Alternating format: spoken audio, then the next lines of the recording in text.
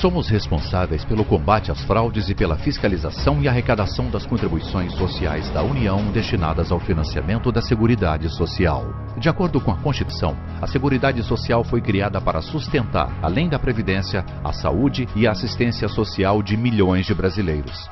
Segundo dados extraídos das contas do próprio governo federal, em 2015 foram arrecadados 700 bilhões de reais para garantir tudo isso e foram gastos 688 bilhões. Portanto, o sistema de seguridade social brasileiro é superavitário. Não há um rombo na previdência pública, e sim um desvínculo anual das contribuições sociais por parte do governo, autorizado por uma emenda constitucional. Em 2015 foram desvinculados para outras finalidades cerca de 66 bilhões de reais da previdência, da saúde e da assistência social.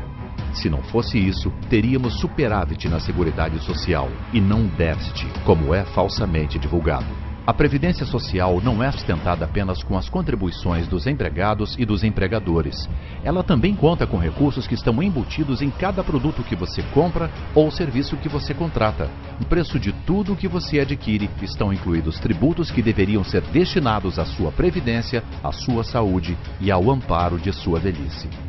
Não podemos permitir que o trabalhador perca seus direitos por causa dessa distorção. A Previdência Social é superavitária e é um direito seu. Você paga por ela.